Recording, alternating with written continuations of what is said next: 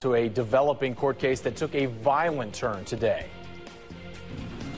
You know you did it. You know you did it. That's family members attacking accused killer Leon Davis in Polk County.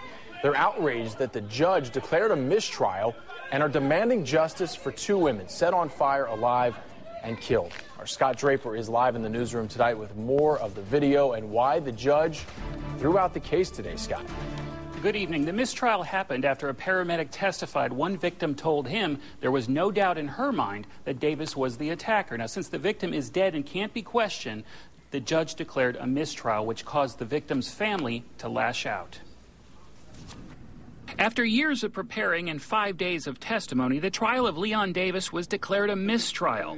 With that, the anger of the victim's family boiled over. You know you did it.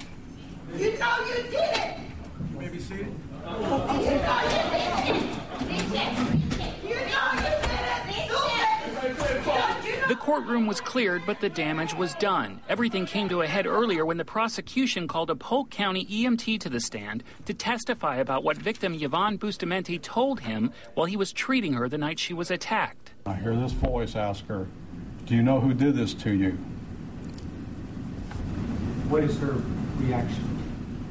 She raised up on the stretcher and emphatically stated, Leon Davis, without any doubt in her mind. Defense attorneys immediately stopped the trial, and with that, the EMT knew he had misspoke. That testimony would come back to haunt the state, leading to the judge's decision to declare a mistrial. The reason? The EMT's testimony was an interpretation rather than an exact account, and because the victim died, the defense could not cross examine.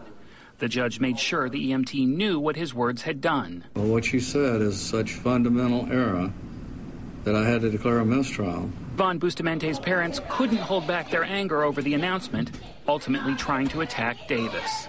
I understand the feelings that victims have, but to, you know, try to attack somebody in a courtroom is something I've never seen. Now, we are told the state will retry Leon Davis, but it likely won't happen until after the first of the year.